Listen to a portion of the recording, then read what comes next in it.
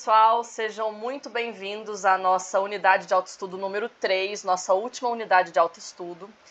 E aqui nós falaremos sobre alguns conceitos de assessoria de imprensa, então como vocês podem utilizar dessas técnicas para promover os hubs de inovação e também os produtos dos hubs. Falaremos sobre as redes sociais e o potencial delas para a divulgação científica também vou entrar um pouquinho na gestão e análise das métricas nas divulgações em redes sociais, para vocês saberem se as divulgações estão sendo efetivas ou não. E para isso a gente vai utilizar o Meta Business Suite, que é o gestor de redes sociais do grupo Meta, que gerencia Instagram e Facebook. E também falaremos um pouquinho sobre o EdRank, que é o algoritmo que eles utilizam para determinar a distribuição de conteúdo. Falo mais um pouco sobre a comunicação através de redes sociais como um todo, né, explicando as vantagens e desvantagens desse cenário. Também a, o link entre a divulgação de hubs de inovação e a divulgação científica, que sofre várias barreiras, assim como a divulgação dos hubs de inovação. E trago para vocês algumas novidades na área de inovação em comunicação, para vocês entenderem como essa área tem evoluído cada vez mais e para destinos cada vez mais incertos. Então, vamos lá, vamos começar? Então vamos lá, pessoal. Eu gostaria que vocês começassem entendendo a relação entre comunicação efetiva em hubs de inovação e divulgação científica.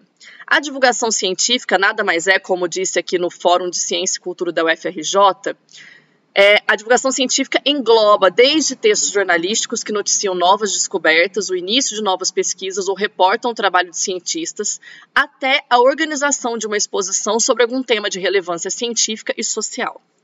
Dessa forma, aí, a gente traça um paralelo entre divulgação científica e a comunicação de inovações. E para que a gente entenda um pouquinho mais sobre isso, eu proponho então a análise do texto Comunicação e Divulgação Científicas, das distinções conceituais, as aproximações promovidas pelas redes sociais digitais. Esse texto está disponível no Moodle para vocês.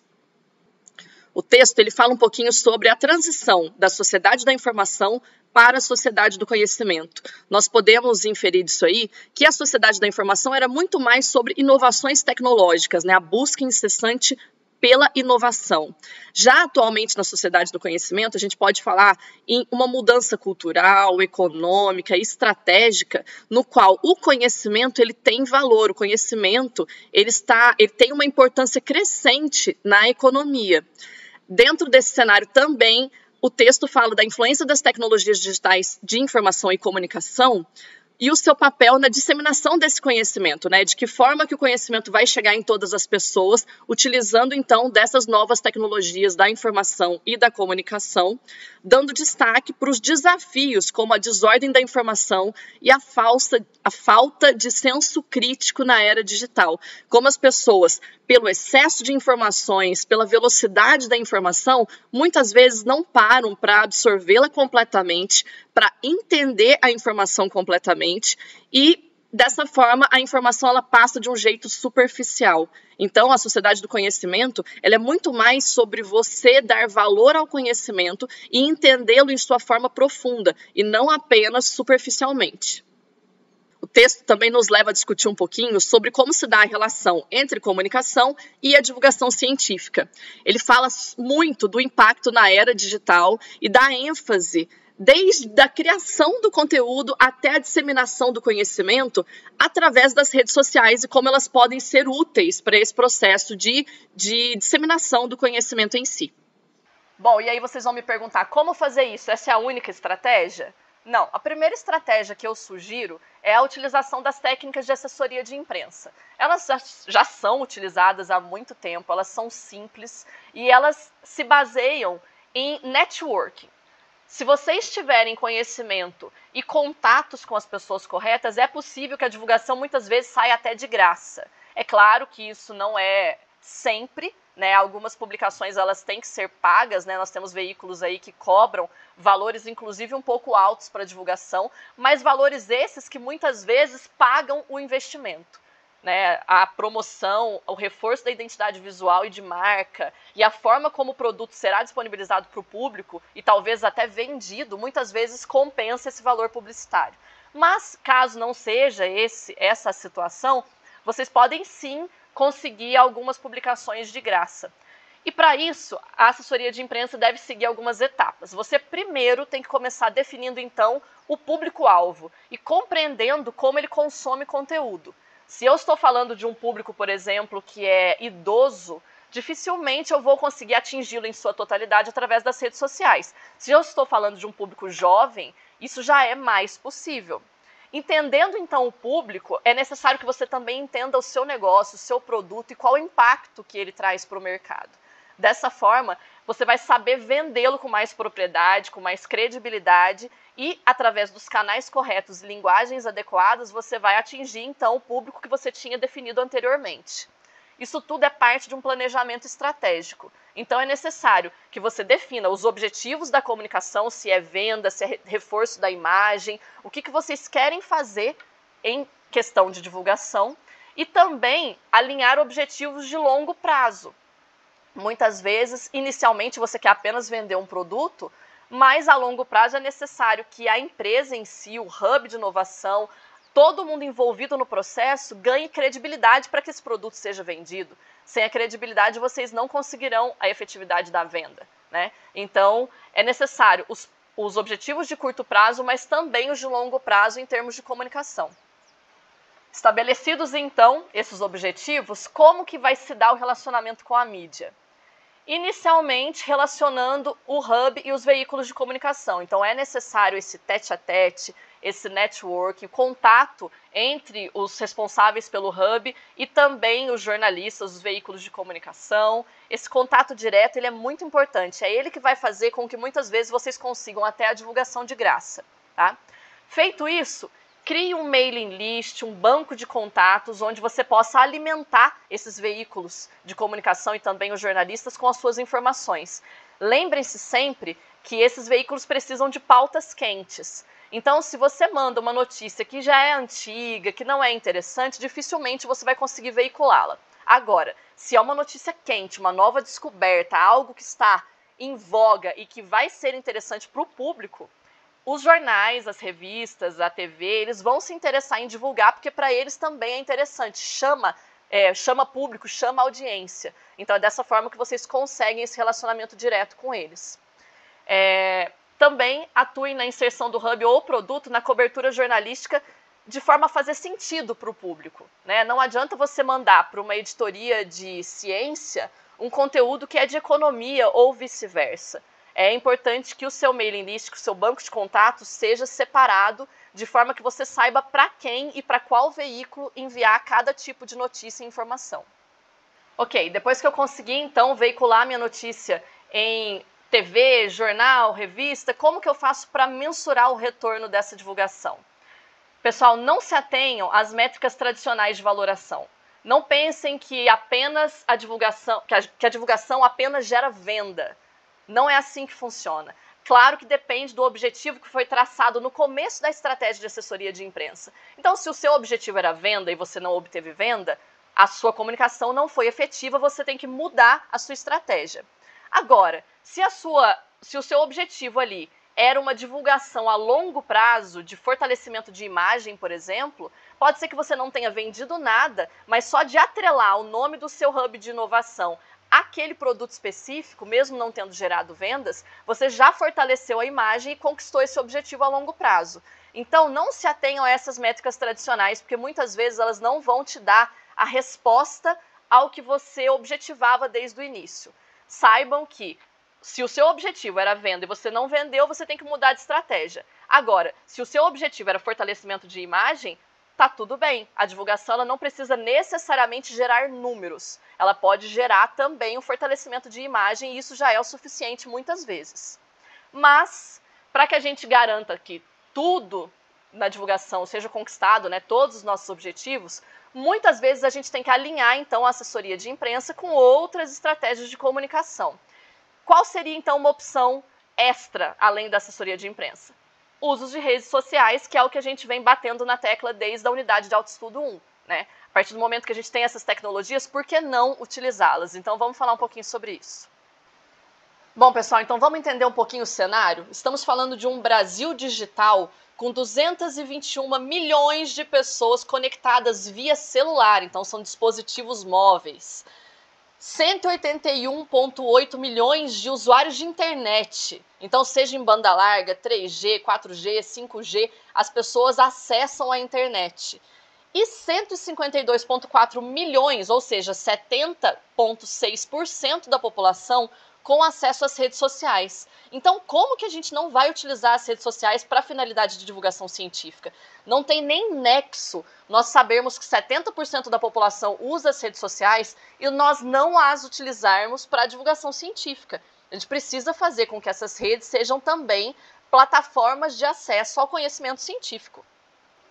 Quando a gente fala de mundo, não só de Brasil, esses números são ainda mais impactantes. Então, nós temos aí 5,44 bilhões de pessoas com acesso à internet pelo celular, 5,16 bilhões de usuários de internet e 4,76 bilhões de pessoas, 59,4% da população do mundo, com acesso às redes sociais. Então, eu fico pensando é, nos divulgadores científicos, nos diretores de hubs de inovação, nas pessoas que querem divulgar conteúdos de educação, ciência e tecnologia e que ainda não utilizam as redes por preconceito ou por acharem que essas redes são essenciais apenas para entretenimento. E não são, elas são plataformas em potencial para a divulgação de qualquer conteúdo que nós quisermos. Eu fiz a minha, a minha tese de doutorado na Unesp sobre divulgação científica através de redes sociais.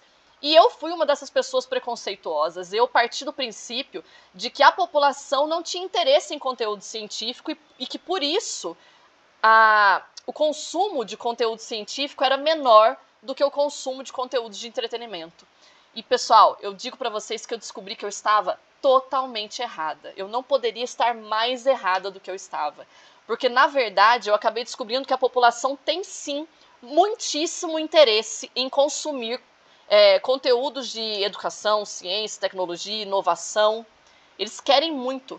Porém, muitas vezes eles não têm acesso, eles não sabem como chegar a essas notícias, eles não sabem quais são as fontes com credibilidade de conteúdo, ou então até mesmo os cientistas, os professores, utilizam de uma linguagem que para eles não é acessível, ou publicam o resultado das suas pesquisas apenas em revistas científicas, revistas essas que a população muitas vezes não tem acesso, ou até eventos científicos que muita gente não tem acesso também.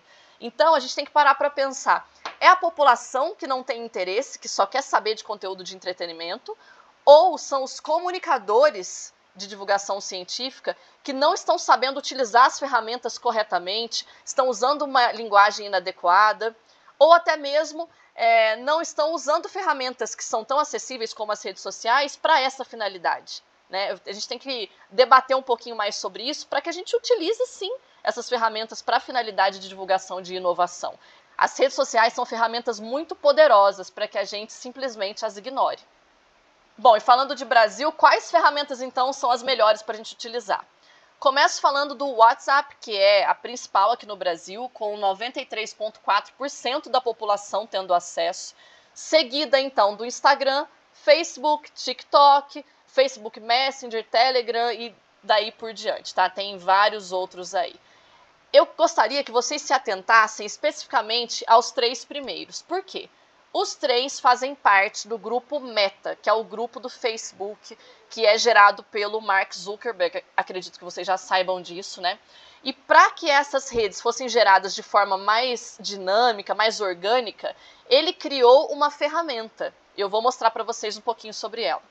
Tá aí, ó. O Meta Business Suite é um recurso do, do grupo Meta, né, que cuida, como eu disse, do WhatsApp, do Facebook e do Instagram, e que traz os insights sobre as contas e as publicações que as pessoas fazem. Então, através desse sistema, é possível, por exemplo, você verificar o desempenho da sua página, você saber quanto de investimento é necessário que você faça em publicidades pagas, por exemplo, para atingir os seus resultados para você ver o engajamento do seu público, de que forma que estão acontecendo as suas publicações, sejam elas orgânicas ou turbinadas, quantas curtidas, quantos comentários você tem, qual é o resumo de dados demográficos e geográficos das pessoas que acessam a sua página. Então, você tem tido acessos mais de uma determinada região do país, você tem tido acesso de uma determinada faixa etária, de um determinado gênero, de pessoas interessadas nesse tipo de conteúdo ou o seu público é totalmente aleatório? Como que tem sido construído esse seu público para que você atinja de fato o seu objetivo de divulgação?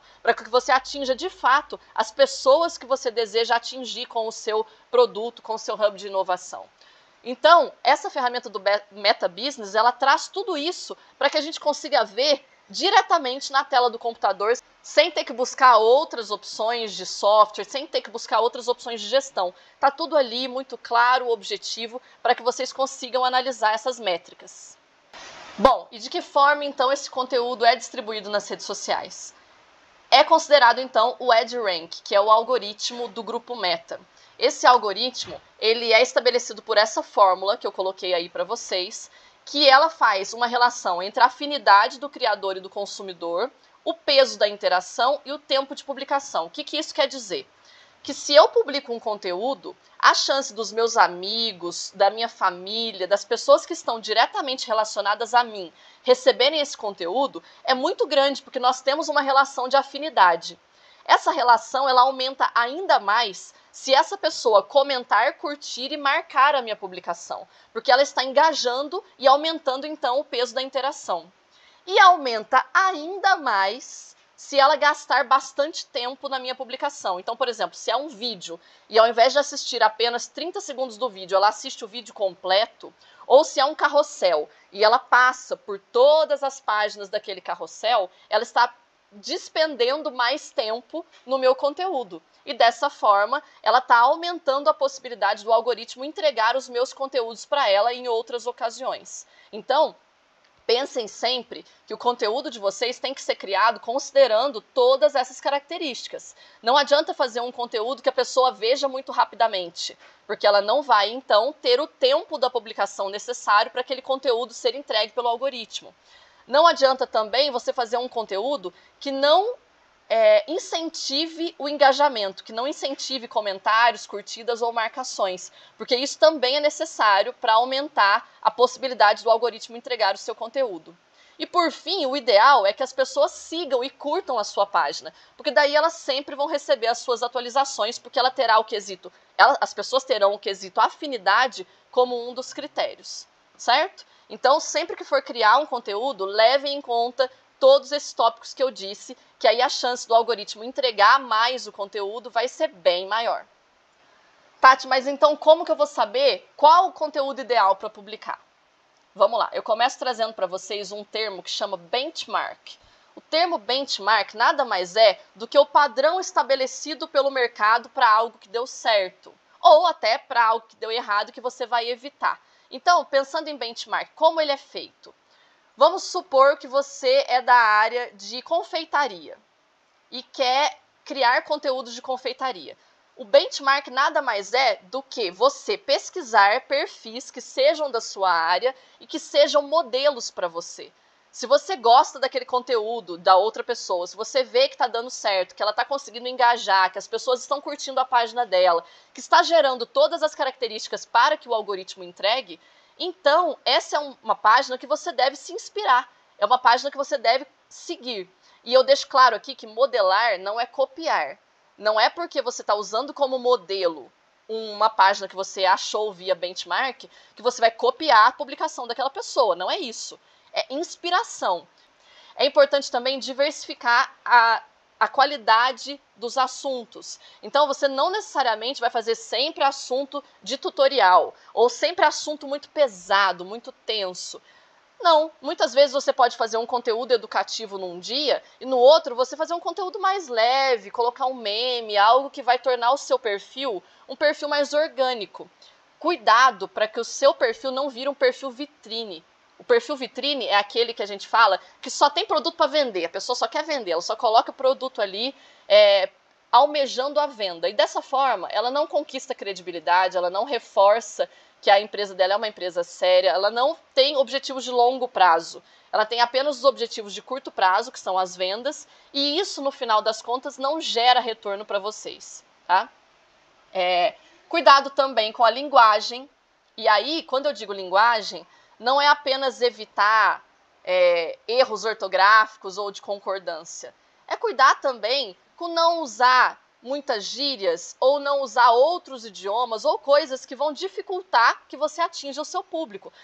Eu falei gírias, mas isso não quer dizer que eu sou contra gírias. Se o seu público for um público jovem e que usa essa linguagem, utilize-a, não é um problema.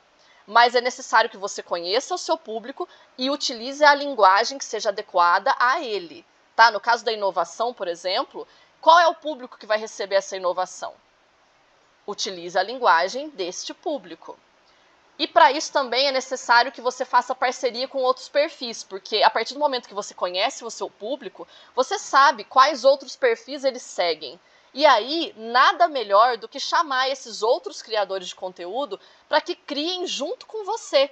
E aí vocês vão compartilhar o tráfego das pessoas, né? Todo mundo que vê o seu conteúdo vai ver também o conteúdo do colega, e todo mundo que já acessa o perfil do colega também verá o seu conteúdo. Diversifiquem formatos. Então, como eu disse, vocês têm que se preocupar sempre com o tempo que a pessoa vai gastar e incentivar também que ela comente, compartilhe, engaje. Para que isso aconteça, vocês precisam criar conteúdos em diferentes formatos. Não adianta só fazer foto estática. Faça também vídeos, faça também um carrossel, um stories, um reels e qualquer outro conteúdo. Lembrem-se sempre que o Instagram, o Facebook e todas as outras redes sociais, elas sempre dão mais valor para entregar as últimas inovações da rede. No caso do Instagram, por exemplo, a última coisa que eles criaram foram os Reels. Né? Então, nesse caso, o que o algoritmo mais entrega é o conteúdo criado com esse formato. Nada impede de criar com outros formatos também, mas vocês podem sim criar o Reels que ele vai ter maior alcance. Por fim, utilizem o retargeting ou então o remarketing. Esses dois termos, eles servem para dizer que você vai fazer uma publicidade novamente para alguém que já acessou o seu conteúdo. Então, sabe aquela pessoa que ela já entrou no seu perfil, ela já viu seu conteúdo ali, muitas vezes ela já até quis consumi-lo, mas por algum motivo ou outro ela acabou não consumindo, né? Ou estava sem grana no dia, ou é um conteúdo que não foi escrito muito no formato que ela gostou, então ela acabou não curtindo, não engajando. Como que eu trago essa pessoa? Com técnicas de remarketing, fazendo com que ela lembre por que, que ela queria o seu produto desde o início, o que, que levou ela a querer aquele produto, o que, que levou ela até a inovação que você está divulgando, de que forma que ela chegou ali. Uma vez que você lembra ela e traz novas informações para convencê-la de que é uma boa ideia que ela curta, engaja, comente ou até compre o produto que está naquele conteúdo, você reafirma a sua intenção, o seu objetivo de divulgação. E aí a pessoa muitas vezes que precisava de um empurrãozinho, somente um empurrãozinho para fazer o objetivo seu, né, seja engajamento, seja venda, a pessoa já é levada a concluir essa etapa final do processo, certo? E é sempre importante no final analisar todos os resultados das estratégias para saber o que deu certo, o que não deu, o que vocês vão repetir mais vezes, o que não vão fazer nunca mais, ou até mesmo para redeterminar os objetivos, né? Às vezes uma ação foi feita pensando em um objetivo, mas no final das contas ela acabou atingindo um objetivo diferente, que também foi positivo e tá tudo bem. E pensando em Instagram e Facebook, como que eu analiso então se a minha estratégia deu certo ou não? Primeiramente pelo número de curtidas, mas é importante que vocês entendam que o número de curtidas não quer dizer muita coisa, tá? Antigamente, lá no início da rede, o número de curtidas era tudo que o pessoal sonhava, tudo que as pessoas queriam nas divulgações. Hoje em dia já não é bem assim. O número de curtidas isoladamente, ele não significa muita coisa, certo? Mas ele é um dado importante, então analisem o número de curtidas, analisem o engajamento como um todo, tá? Então, se as pessoas estão marcando, se elas estão passando bastante tempo naquela publicação. Todas essas informações vocês encontram nos insights que estão disponíveis no estúdio de criação do Facebook barra Instagram, dos dois, ou então nas configurações dos perfis de vocês nas próprias redes sociais. Basta entrar lá que vocês vão ver todos esses dados. Eu vou mostrar para vocês um pouquinho mais para frente. Mas vamos continuar aqui só para vocês saberem quais são as métricas importantes a serem analisadas. E uma outra métrica importante, importante é a taxa de conversão.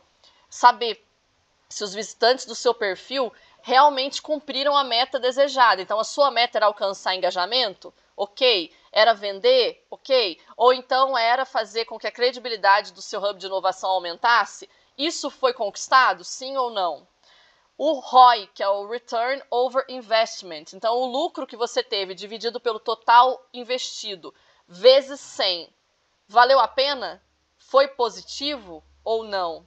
A geolocalização, de onde essas pessoas vêm? Você quer divulgar para um determinado estado do Brasil, você quer divulgar para uma determinada cidade, mas as, as pessoas, as suas curtidas, o seu engajamento está vindo de outro lugar completamente diferente? Isso para você tudo bem? Você quer atingir nação inteira? Ou não? Você precisava daquele público específico naquele local. Então é importante que isso seja analisado. Além disso, o perfil dos seguidores. A faixa etária, os gostos, o gênero, isso tudo estava do seu planejamento inicial? Você está atingindo o público que você de fato precisa atingir? Para acabar, nós temos ainda o perfil do engajamento. Então, o tipo de interação das pessoas está sendo mais de curtida, comentários, ou está sendo mais tempo de divulgação, horário do acesso, quais dias eles estão acessando? Tudo isso você consegue obter nas configurações de todas as redes sociais e é importante que você analise esses dados para verificar se a sua divulgação foi de fato efetiva ou se você não atingiu o objetivo esperado. Bom, pessoal, eu sou editora da página Editais Brasil. Nós temos perfis tanto no Facebook quanto no Instagram e tudo fica mais fácil quando os dados são analisados através do estúdio de criação aqui no Meta Business Suite. Então eu vou entrar aqui para vocês verem nos insights, tá? Aqui nós temos tanto os insights do Facebook quanto os insights do Instagram. É possível que vocês vejam, por exemplo, o alcance das publicações, o número de interações com o conteúdo, número de seguidores, os cliques nos links, assim como, vou entrar aqui em público para vocês verem, se o público é formado por homens, mulheres, quais são as principais cidades que acessam o conteúdo, qual a idade desses públicos. Esses dados e vários outros estão disponíveis aqui no, nesse estúdio de criação.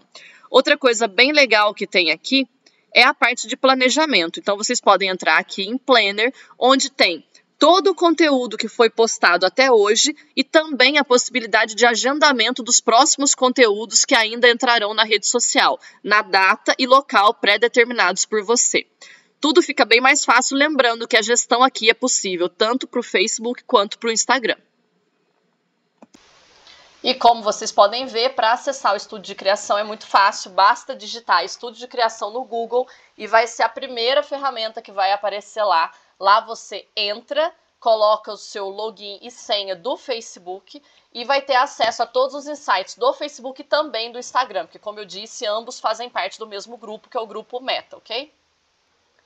Bom, pessoal, se vocês tiverem dúvidas, a gente pode esclarecer na aula síncrona. Eu também estou à disposição no Fórum Tira Dúvidas, podem entrar em contato comigo, tanto as dúvidas do, das demais unidades, quanto das técnicas de assessoria de imprensa ou de gestão e métricas das redes sociais para divulgação e hubs de inovação. Eu estou super à disposição para responder os questionamentos de vocês, certo?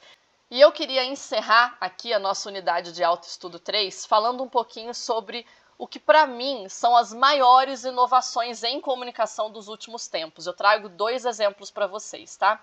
O primeiro é o Apple Vision Pro.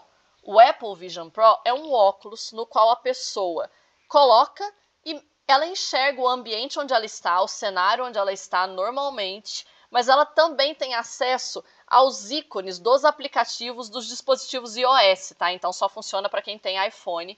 E aí você vai ter acesso a tudo que teria no seu celular iPhone. Sua galeria de fotos, o seu e-mail, o seu WhatsApp, vai estar tá tudo ali à distância apenas de um clique. O clique, no caso do Apple Vision, é assim, tá? Você pode ampliar a tela, você pode fazer diversas coisas. Eu deixei um vídeo no Moodle para que vocês vejam um pouquinho sobre como funciona esse óculos. É muitíssimo inovador, é diferente e é uma forma, é um primeiro passo de conectar as pessoas cada vez mais aos dispositivos digitais. Porque atualmente nós temos ele separado do nosso corpo. Então, para utilizá-lo, nós temos que pegar o celular e utilizá-lo. A partir do momento que você já está com ele em óculos, já está usando ele, né, eles chamam de dispositivo wearable, né, que é utilizável, usável, né? partir do momento que você já anda com ele, você não tem que pegá-lo, ele já vira uma parte do seu corpo. E isso transforma a relação homem-máquina numa relação muito mais próxima, especialmente com relação à comunicação, certo? Trago então um segundo exemplo que ainda é mais louco do que esse. Se vocês já acharam esse inovador, vocês vão ver o próximo exemplo. O próximo exemplo é a inovação da Neuralink. A Neuralink é a empresa do Elon Musk. E eles simplesmente colocaram um chip na cabeça de um ser humano para que ele consiga controlar funções do corpo através de dispositivos ligados ao pensamento dele. Então, por exemplo, uma pessoa que tem alguma deficiência neuromotora, ela não mexe mais as pernas, por exemplo, ela poderá colocar uma prótese na perna, colocar o chip no cérebro e através do pensamento dela, ela manda um comando para esse chip que movimenta a prótese. Essa, pelo menos, foi a explicação que o Elon Musk deu como objetivo inicial. Mas a gente sabe que o cara é um tanto quanto vanguardista, um tanto quanto revolucionário, e ele vai utilizar esse chip para outras finalidades também, tá? Então, falando, por exemplo, em pessoas se conectando com máquinas, é possível, por exemplo, que esse chip conecte a gente com os nossos dispositivos. Então, através dele, eu vou poder mandar um comando para o meu celular, meu pensamento, né? Quero ligar para o meu marido. E aí, esse chip vai mandar um comando para o meu celular e o celular vai fazer a ligação para mim. Isso funcionaria com outros dispositivos também, tá? Mas é importante que vocês saibam que essa tecnologia não é nova. Inclusive, ela tem um brasileiro diretamente envolvido nela. O Miguel Nicoleles é um pesquisador da Universidade de Duke, né? E ele foi um dos pioneiros nessa tecnologia. Já há muitos anos atrás, ele vem desenvolvendo pesquisas nessa área. Inclusive, é, ele fez pesquisas próximas ao que o Elon Musk divulgou dois anos atrás. Então eu vou mostrar para vocês um vídeo do que o Elon Musk fez e divulgou dois anos atrás lá no Twitter, né, que é a plataforma X, que hoje em dia é dele, inclusive. This is Pager. He's a nine-year-old macaque who had a Neuralink placed in each side of his brain about six weeks ago. If you look carefully, you can see that the fur on his head hasn't quite fully grown back yet. He's learnt to interact with a computer for a tasty banana smoothie delivered through a straw. We can interact with the Neuralinks simply by pairing them to an iPhone, just as you might pair your phone to a Bluetooth speaker. Pessoal, esse vídeo é de dois the anos atrás, record tá? from more than 2,000 electrodes implanted in the regions of Page's motor cortex that coordinate hand and arm movements. Neurons in Bom, como vocês puderam ver, o macaquinho então teve um chip inserido no seu cérebro, e aí, à medida que ele pensava nos movimentos que ele gostaria que o joguinho fizesse, o joguinho recebia essa informação através do chip e fazia a movimentação. Foi exatamente isso que o Elon Musk fez com o ser humano. Ele colocou o chip no cérebro do ser humano e a intenção inicial, pelo menos, é que esse ser humano que tem deficiências neuromotoras possa então enviar pensamentos para esse chip e esse chip então controlar próteses que foram colocadas nele para possibilitar o movimento das pernas, braços e etc. Então entendam que essa pesquisa ela não é tão inovadora assim. Né? Ela já vem sendo desenvolvida há anos e anos atrás, inclusive tendo como pioneiro o Miguel Nicoleles, que é o brasileiro, né? E agora vem atingindo um novo patamar. O que, que, eu gostaria que vocês entendessem sobre ambas as inovações, tanto a da Apple quanto a do Elon Musk? São formas diferentes de se comunicar. É a inovação gerando novas maneiras de comunicação. E aí, a comunicação, por sua vez, ela vai ter que se adaptar para entender que daqui para frente não adianta mais nós nos comunicarmos da forma tradicional talvez a gente tenha que, em um tempo até meio recorde, nos adaptarmos a essas tecnologias para que as divulgações sejam de fato efetivas. Se a gente fizer comunicações usando apenas metodologias tradicionais e não levarmos em consideração que o mundo está mudando, que as inovações estão chegando para modificar também a comunicação, dificilmente a gente vai atingir os objetivos e transformar a nossa comunicação em uma comunicação efetiva. E da mesma forma, nós temos as pessoas que lidam com inovação e que vão ter que entender que a comunicação demanda formas inovadoras de se renovar.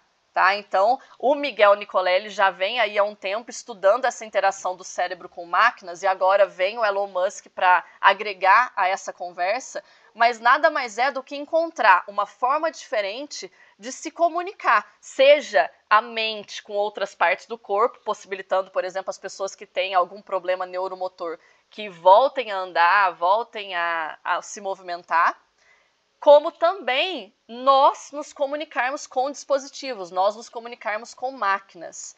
E aí, qual a finalidade que vai se dar a essa invenção? Não sei. Da mesma forma como nós discutimos na, no Autoestudo 2, tem uma questão moral, tem uma questão ética, tem uma questão regulamentar que precisa ser estudada. Mas eu achei importante trazer para vocês essas duas inovações para que vocês entendam que nós estamos caminhando nesse sentido e que são necessárias inovações em comunicação, assim como a própria comunicação tem que se inteirar das inovações para que ela seja efetiva. É isso, pessoal. Chegamos então ao final da nossa unidade de autoestudo 3 e também da nossa disciplina Comunicação Efetiva em Hubs de Inovação. Quaisquer dúvidas que vocês tiverem, eu estou disponível no Fórum Tira Dúvidas e também aqui nas redes sociais, nos contatos que estão aqui ao lado. Eu espero que vocês tenham estudado bastante, que eu tenha contribuído pelo menos um pouquinho com o aprendizado de vocês. E espero que dessa disciplina vocês tenham compreendido que comunicação e inovação andam lado a lado.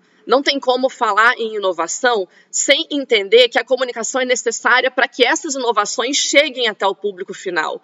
Também não tem como falar em hubs de inovação sem entender que é necessária a comunicação para que os investidores fiquem sabendo do hub e queiram então apoiar tais iniciativas. Assim como não dá para falar em comunicação sem entender que a comunicação ela é moldada pelas inovações.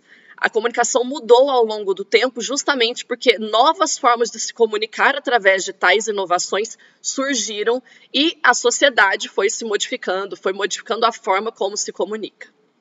É isso, pessoal. Nos vemos então na aula síncrona no dia 28 do 2 e eu vejo vocês por aí. Tchau.